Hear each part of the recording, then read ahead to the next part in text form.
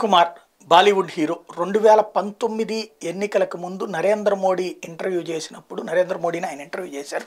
Maybe అది BJP plan programme దాని మీద పెద్ద ఎత్తున విమర్శలు వచ్చినాయి ఆ టైంలో అక్షయ్ కుమార్ అనేవాడు అసలు మన దేశీయుడే కాదు. ఇంత ఇక్కడ బుట్టి కెనడా పౌరసత్వాన్ని తీసుకున్నాడు. అట్లాంటోడా మనకి నరేంద్ర మోడీ ఇంటర్వ్యూ అంటే దాన్ని బట్టి నరేంద్ర మోడీ ఎట్లాంటోడో చూడన్నట్టు కాంగ్రెస్ పార్టీ కమ్యూనిస్టులు పెద్ద ఎత్తున విమర్శలు చేశారు.